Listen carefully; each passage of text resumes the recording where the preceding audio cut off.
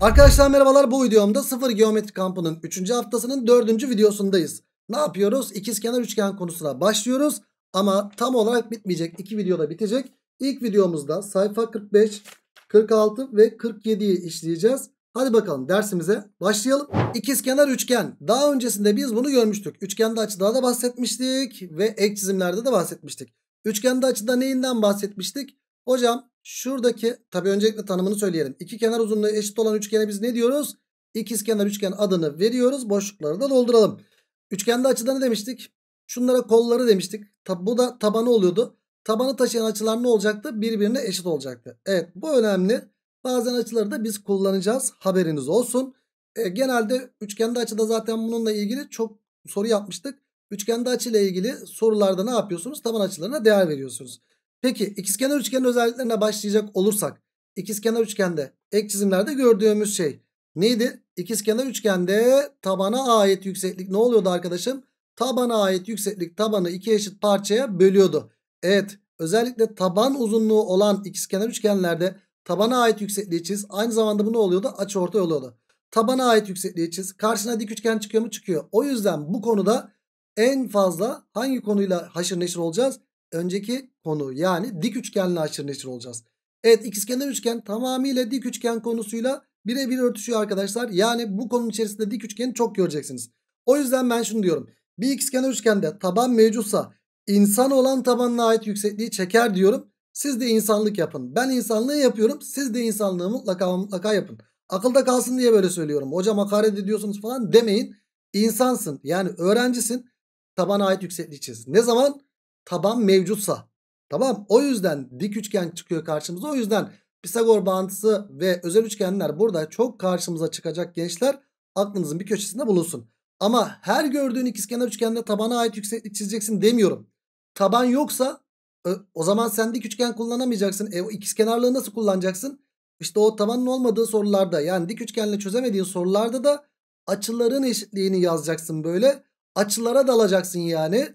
Açılara da daldıktan sonra mutlaka farklı bir yerde güzel şeylerle karşılaşabilirsin. Bu dediğimi de sakın ama sakın unutma. Ama taban mevcutsa insanlık yapıyoruz. Bunu da unutma. Evet hadi bakalım örneklere şimdi. Hocam ne demiş? A noktasının BC olan uzaklığı. Zaten A noktasının BC olan uzaklığı sorulmuş. Kardeşim ikiz kenarı var tabanda mevcutsa insan olan tabanına ait yüksekliği çizer diyoruz. Zaten bunu çizerdik. Bir insanlık yapardık. 6 6 e burada 6 10 ne üçgeni? 6 8 10 üçgeninden cevap kaç çıktı arkadaşlar? 8 çıktı. Evet A noktasının BC olan uzaklığı bu. Örnek 1'i 8 buldurdu bize. Geldik örnek 2'ye.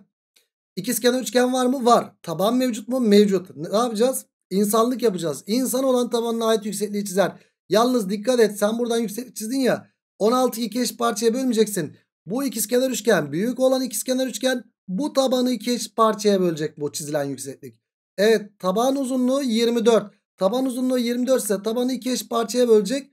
12'ye 12 olacak. O zaman buraya kaç kaldı? 4 kaldı. Çünkü 8'i burada.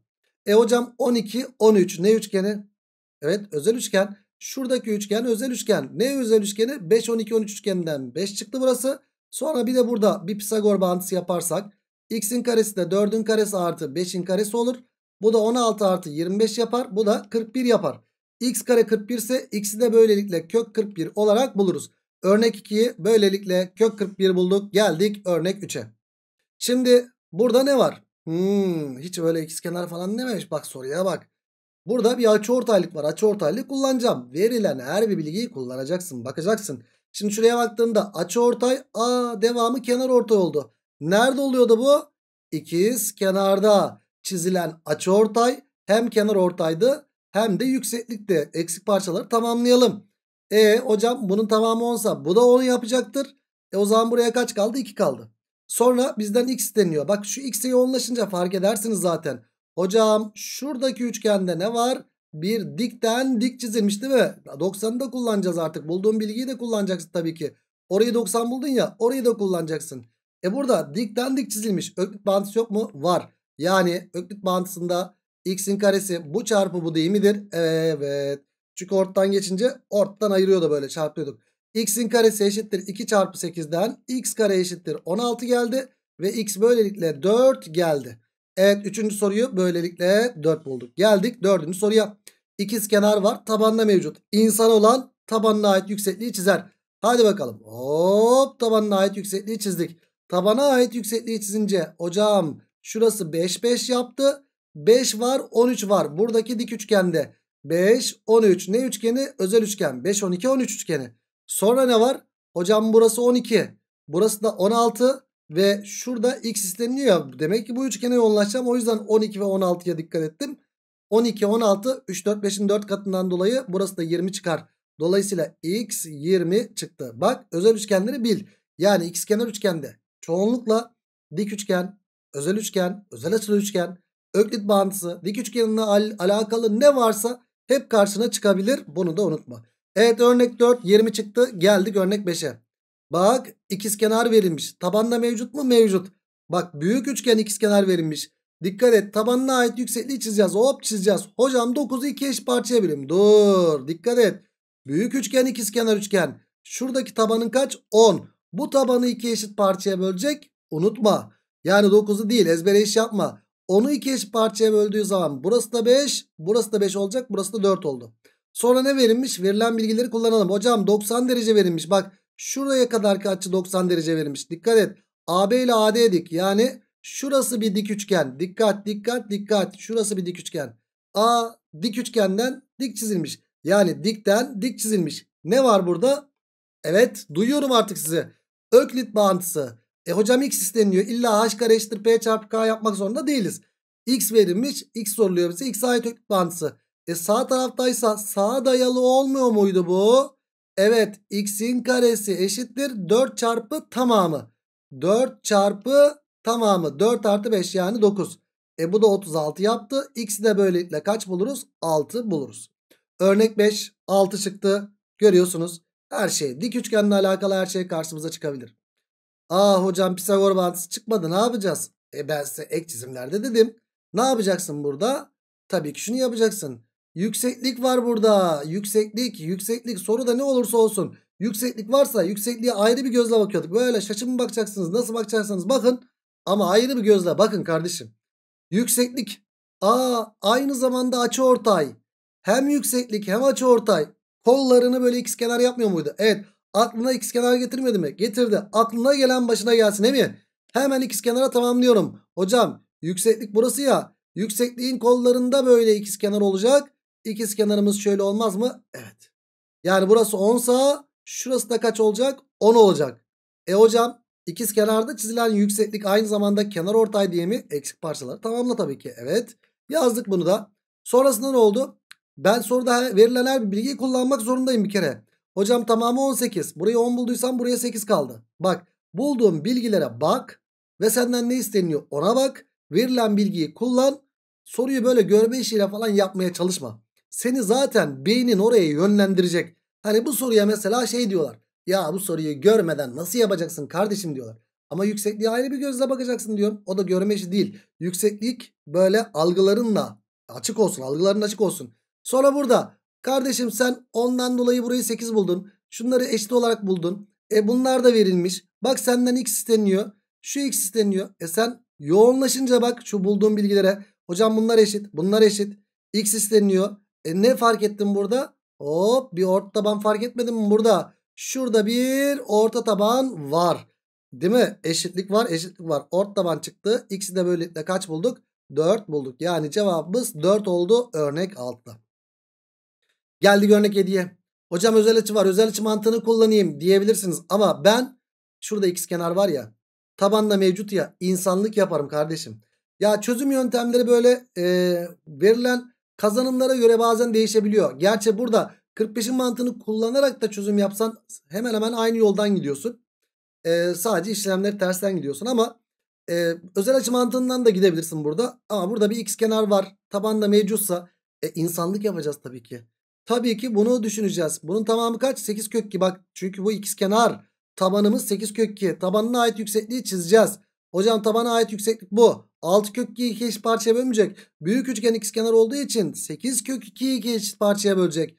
Yani burası 4 kök 2'ye 4 kök 2 olacak. Buraya kaç kaldı? 2 kök 2 kaldı. A 45 mantığını kullanmama gerek kalmadı. Diki çizince 45 45 90 üçgeni çıkıverdi zaten karşıma.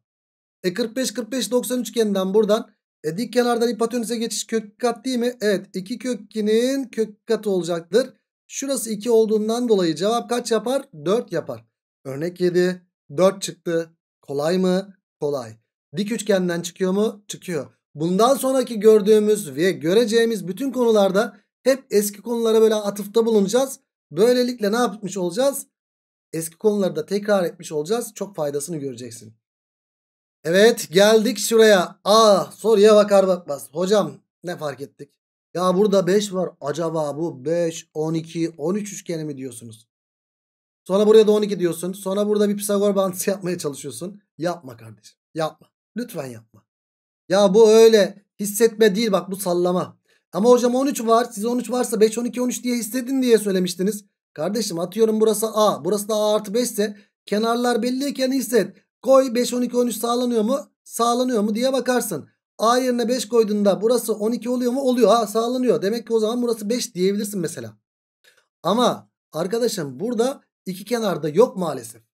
Yani aynı cinsten yok. O yüzden burada 5, 12, 13 diye sallamak olmaz. E ne yapacağız? Ya yükseklik var burada. Yüksekliğe ayrı bir gözle bak şurada. Yükseklik, yükseklik ayrı bir gözle bakıyorduk. Yükseklik görünce ne yapıyorduk? Kolları böyle değil mi? Yükseklik böyleyse kolları şöyle mi olacak? Evet. Yüksekliğimiz böyleyse bu yüksekliğin kolları bak. Dikme ayağı burası ya. Tepe noktası burası. Kolları tepe noktasından gidecek. Bir köşesi buraya gelmiş. Diğer köşesi de buraya gitmez mi? Evet. Evet bu ne oldu arkadaşım? İkiz kenar oldu. Şununla şu. Aa burası 13 oldu. Ve burada ne var kardeşim? 5, 13. Ne üçgeni? 5, 12, 13'ten 12 çıktı dostum. Yani bu sorular artık sizin için kolay sorular. Çünkü yüksekliğe ayrı bir gözle bakmayı lütfen ama lütfen unutma. Geldik örnek 9'a. Şekil 1'de iki tane ikizkenar üçgen verilmiştir. 17, 17, 16. Vallahi ben insanlık yapacağım. Direkt insanlık yapacağım. Hiç kusura bakmayın. Şuradan bir tabanına ait yüksekliği çizeceğim. Hop çizdim. Ne oldu? Tabana ait yüksekliği çizince soruyu okumadan hemen böyle 8, 8, 8, 17, 8, 15, 17'den buraya 15 bulurum. Hocam burada da tabana ait yüksekliği çizelim. Hop çizdim. 8, 8 oldu burası da. 6, 8, 10 üçgeninden burası da 6 mı oldu? Evet. Bu kağıtlar 16 tabanları çakışacak şekilde böyle konulmuş. Tamam. E, acele etmişim ama fark etmez. Neyse buradan da yüksekliği çizeceğim ben. Çizeceğim şu ikiz kenardan dolayı. 8, 8 ve burayı kaç bulduk? 10'du burası. 6, 8, 10'dan 6 bulmuştuk.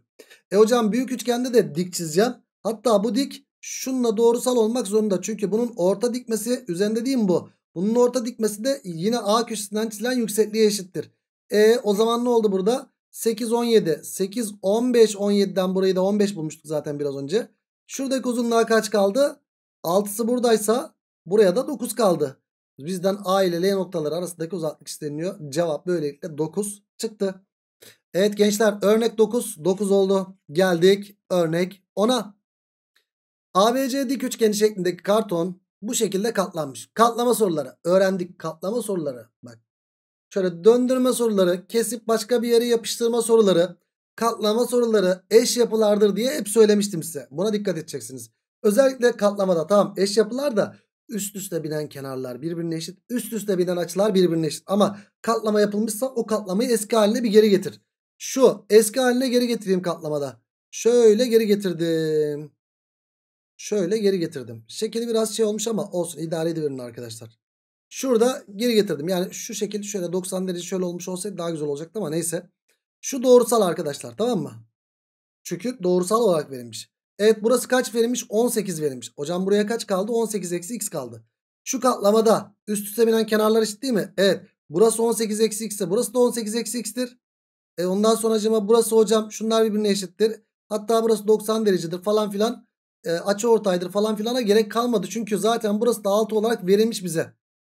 E burası da 6 olarak verilmişse bize gençler 6 var x var 18 eksi x var. Katlamada üst üste binen kenarların birbirine eşitliğinden dolayı. A, bu ikizkenar üçgen konusunda ne, al ne alakası var hocam diyebilirsiniz. Bu üçgen buraya geldi ya hani ikizkenar ikizkenar üçgen oluştuğundan dolayı. Peki artık burada bir Pisagor çıktı mı? Çıktı. Hocam normalde bu nasıl yaparsınız? 18 eksi x'in karesi bak Pisagor bağıntısı çıktı burada. 18 eksi x'in karesi eşittir. x'in karesi artı 6'nın karesine eşit olacaktır. E burada işlem işlem işlemde x'i bulursunuz kardeşim. Boş ver. Hisset kardeşim şimdi burada. 6 varsa ne üçgendir? 6 ile ilgili hangi özel üçgeni biliyorsun? Aynen öyle. 6, 8, 10 üçgeni. Acaba burası 8 burası 10 mu? Bak x yerine 8 yazdığında 18 eksi 8'den burası 10 tutuyor mu? Tutuyor. Sağlaması da tutuyor. Dolayısıyla x 8 çıkar. İşte hissetme dediğimiz şey bu tür sorularda işimize yarıyor. Buna da dikkat et lütfen. Örnek onu böylelikle 8 bulduk. Geldik örnek 11'e. Aa, açılar eşit verilmiş. Ne yapacağız? Arkadaşım bak ikizkenar üçgen konusundayız ama hiç böyle ikizkenarla alakalı bir şey yok. Bizden de AB uzunluğu isteniliyor. Ne yapacağız? Kardeşim açılar eşit verilmiş. Açılara da alacağız o zaman. E dağıl kardeşim. Buraya alfa dersen burası da alfa. E şuna da bir beta diyeyim. E burası da beta. Sana ne yapacağım? İki tane açı yan yana gelmiş. Dayanamam. Nedir? Hocam iki iç açının toplamı bir dış açıya eşittir şuradaki üçgende. Yani alfa ile beta'nın toplamı burası mı yapar? Evet. Şurası da alfa artı beta yaptı. E arkadaşım ben ne yapacağım? Benden şimdi x isteniyor. E hocam o zaman x ya bu üçgende değil mi? Bak düşüneceksin. Yani görme işlemi değil verilen bilgileri kullanma. Tamam görerek de yapabilirsin ama yani verilen bilgiyi kullanmaya çalış. Hocam x bu üçgende bu üçgende özel bir durum yok ki. Ya da x hangi üçgende arkadaşlar? x şuradaki üçgende. Ya en azından şuradaki üçgende o zaman sen bu üçgene dikkat edeceksin. Zaten buradaki üçgende 5 ve 3 de verilmiş 8 de verilmiş. Yani o üçgeni de işin içine katacağım belli. Şöyle bakacak olursan. E ne var burada? Aa hocam burası alfa artı beta. Aa burası da alfa artı beta oldu. Alfa artı beta alfa artı beta ikiz kenar çıktı. Yani burası da 8 oldu. X'i böylelikle kaç bulduk? 8 bulduk. Örnek 11 8 oldu ve geldik örnek 12. Şimdi ne yapmış burada? Arkadaşım şöyle iki tane karton varmış değil mi? Açıları da vermiş böyle. İşte şurası beta beta 2 beta demiş. Gerçekten öyle mi? Şuraya beta dersem burası da beta iken burası da 2 beta oldu mu? Oldu. 5 5 tamam. 5 olan kenarları yapıştırılmış. Şöyle şu şekilde KM x kaçtır diye soruluyor. Arkadaş ne yapacağız burada? Vallahi işlem yapalım. Başka yapacak bir şey yok. Burada beta var 2 beta var. Aa beta ile neyi toplarsam 2 beta yapar? Hocam betayı burası beta yaptı. Ne çıktı burada? Bir ikizkenar üçgen çıktı. Yani beşgen burası da ne olacak? 5 oldu. Başka ne var burada? Aa hocam şurası da beta burası da beta. Dikkat et. Şu beta şu beta şununla şunu ikizkenar mı yaptı? Evet. Yani xken burası da ne oldu? X oldu.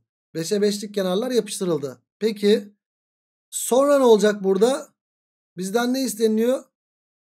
X isteniyor. Vallahi yapacak bir şey yok. Aa hocam x kenar çıktı. Yapacak bir şey olmaz mı? İnsanlık yapacaksın kardeşim. Hocam x kenar çıktı bu. Taban da mevcut burada. E o zaman tabana ait yükseklik çizeceğim. Hocam burada da var. Biz buradan bir yükseklik çizsek böyle. Ya buradan bir yükseklik çizsek 11'i kullanamayacağız be kardeşim. Ama büyük üçgende kenar çıkmadı mı? Çıktı. O zaman büyük üçgende tabana ait yüksekliği çizeceksin. Büyük üçgende tabana ait yüksekliği çizince 16 olduğundan 8'e 8 olacak. Buraya ne kaldı? 3.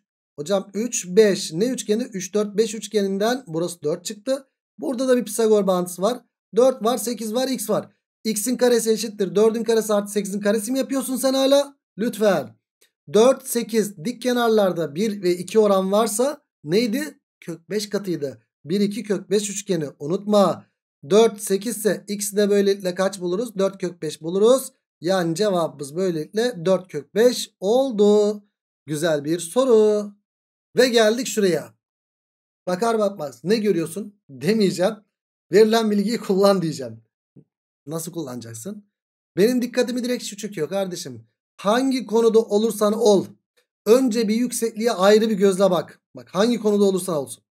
Çünkü ÖSYM buna önem veriyor kardeşim. Bak ben de çok önem veriyorum. Yükseklik aynı zamanda kenar ortay. Hem yükseklik hem kenar ortay aklına ne getirdi? Evet aklına gelen başına gelsin. Hocam yüksekliğin ayağı burası tepesi burası. Yüksekliğin kolları böyle ikizkenar gelmedi mi aklımıza? Evet geldi. Hemen ikizkenar üçgen oluşturalım. Hop oluşturduk. İkizkenar üçgen oldu hocam. Şurası 4 kök ise burası da 4 köküçtür. Ve burası 15 ise ikizkenardan dolayı burası da 15 midir? Evet. İki açı yan yana gördüm dayanamam. Yani 15 ile 15'in toplamı burası yapmaz mı? Yapar. 2 iç açı bir dış açıdan direkt burası 30 yaptı. Ya da sen 15 90 ise 75 burası da 75 yazıp burayı da 30 bulabilirdin. 30 60 90 üçgeni hali hazırda çıkmış oldu burada. E o zaman soru bitti mi? Bitti. Hadi bakalım 30 60 90 üçgenini kullanalım. Biz normalde 30'un karşısı başlangıç noktasıydı. 30'dan 60'a geçiş kök 3 kattı. Ama 60'tan 30'a geçiş neydi? Kökçe bölünmüş haliydi. Yani x neye eşit olacaktır o zaman arkadaşlar? 60'ın karşısı 4 kök ise 30'un karşısı da kök 3'e bölünmüş hali. Yani direkt kaç yapar? 3 yapar. Pardon 4 yapar. 4 kök 3'ün kök 3'ünü yok edeceksin yani. Cevap böyle ne çıktı arkadaşlar? 4 çıktı ve sanırım bitirdik galiba arkadaşlar. Evet buraya kadar yok bitirmemişiz. Devam devam bir soru daha ondan sonra özelliklere başlayalım. Örnek 14'e bakalım arkadaşlar. Örnek 14'e de bakalım ondan sonra bitiyor. Evet bu sayfaya kadar demiştik ama burada bir soru kalmış. Sonra özelliklerden bahsedelim. Bir sonraki video özelliklerle gelelim daha doğrusu. Hocam ne var burada? AB ile AC'ye eşit vermiş. Tamam. Şunu şöyle eşit vermiş soruda. Eyvallah. E hocam şuradan bir yükseklik çizilmiş. İkisi kenarda çizilen yükseklik tabanı iki parçaya bölecek ama hocam taban uzunluğu yok. Bir işime yaramayacak demek ki. Demek ki ben buradaki Pisagor bağıntılarından sonuca gidemeyeceğim. Bir şey de yapamıyorum zaten. Zaten ikizkenar üçgen sorularında öyle Pisagor bağıntısıyla falan işlem yapamıyorsan eğer bak çıkıyor mu? Çıkmıyor. Bir şey yapamıyorsan eğer ne yapacaksın? Açılara dalacaksın. Dal açıya kardeşim. Bu açılara dalmayı da ne zaman alışacaksın biliyor musun? Bu açılara dalmayı da üçgende benzerlikte alışacaksın ama ikizkenar gördüğünde de böyle açılara dalmaya başla. Benden sana tavsiye. Mesela burası alfa alfa hocam. İkizkenar üçgen. E ben şuraya bir beta dersem Alfa, alfa artı beta'nın toplamı nedir? 90 derece değil mi? Evet alfa artı beta 90 derece. E alfa artı beta 90 derece ya. Şimdi o zaman alfa 90 sa burası da beta yapar mı? Bir dik üçgende diğer iki açının toplamı 90 olduğundan dolayı. Evet. Alfa 90 sa burası da beta yaptı. Evet. Ters açıdan bak burası da beta yaptı. Ters açıdan dolayı. Sonra burası da ne yaptı? Beta yaptı. Niye? Ya iki iç açı bir dış açı dersin ya da şuradaki büyük üçgende ne var? Alfa 90 sa Burası da beta yaptı diyebilirsin. Aa burada ne çıktı? Beta'ya beta çıktı. Yani burada da küçük üçgende bir ikizkenarlık çıktı. Hocam ikizkenar üçgen. Bak bu sefer taban mevcut. İnsan olan ne yapar? Tabana ait yüksekliği çizer. Hadi bakalım insanlık yapıyoruz ve tabana ait yüksekliği çiziyoruz. Hocam ikizkenar üçgende tabana ait yükseklik tabanı iki eşit parçaya böler 4 4. Takıldın kaldın. Ne yapacaksın? Verilen bilgileri kullan. Sen bu zamana kadar neyi kullanmadın? Hocam 5'i kullanmadın. Senden ne isteniliyor? X isteniliyor. Ne yapmıştın? Böyle dik çizmiştin. Şimdi buraya yoğunlaşınca zaten görürsün demiyorum bak verilen bilgileri kullanıyorsun. Ulan 4'ü buldun. 5 var burada. X soruluyor böyle deyince zaten beyin otomatikman fark eder. Beyninle çözmeyi öğretiyorum. Gözünle değil. Bak görme işi değil. Yani burada ne var kardeşim fark etmişindir zaten. Hocam şurada bir dikdörtgen oluştu. 90 90 90 90 bak 4 5 ve x'e bakınca zaten Beynin onu otomatikman fark eder. Yani burası kaç? 9. O zaman hocam x de 9'dur. Yani böylelikle x'i kaç bulduk? 9 olarak bulduk. Ve bu olayı bitirdik mi? Bitirdik. Yani ikizkenar üçgenin ilk videosunu bitirdik. O zaman ne diyoruz? Bir sonraki videoda ikizkenar üçgene devam edip ikizkenar üçgeni bitireceğiz. O zaman bir sonraki videoda görüşmek dileğiyle. Kendinize iyi bakın. Hoşçakalın.